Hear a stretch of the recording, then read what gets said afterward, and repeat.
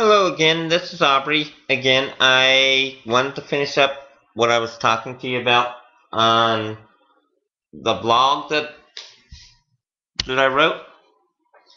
Uh, we are this blog went up. The blog part one went up. The whole thing has went up because he refuses to remove the YouTube videos that are on his page and how I feel about this whole thing is I have told him to remove the videos, remove all the stuff that he said about me, and he continues to harass. He continues, he'll be online for a while, then he'll disappear, he'll promise me that he won't bug, that he won't do anything. Well, then he decides to crap, crop back up after eight months, a year, shows back up, screws me again, goes looking for my models on Facebook. What what kind of ridiculous person does that? I mean, grow up, be an adult, Curtis. That's what you have to do. Be an adult. At least I'm an adult about it. I don't go after somebody because somebody doesn't get me a job. I don't go after somebody because of the way they say things or the way they act. You go after somebody because you're a baby. You're a grown-up adult baby. And I am talking to you, Curtis. I am talking adult to you. You are a baby. I am the adult. Get a life. And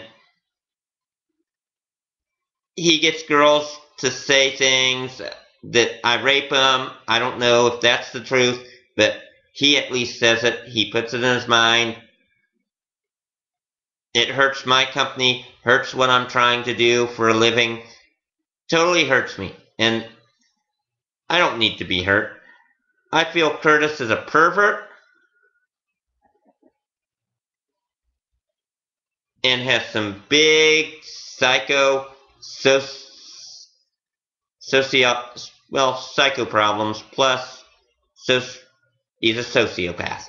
Sociopaths, nutcase, goofballs, needs to be in a psych ward. That's all I have to say. I think the guy's got problems. The guy, his mind thinks like a little kid. His mind actually thinks like a perverted sociopath, adult. My mind, at least, is normal. I don't treat people like nuts. I don't say things about people. I don't talk people down. I talk him down because he goes after me, and I don't have to take that. I have a right to protect myself. I have a right to protect my things. I have a right to protect my models. That's what I'm doing, protecting my work protecting my job. I will talk to you guys tomorrow night. This is my second blog, and it's finishing up the first blog. So, have a good night, everybody. See you later. Bye.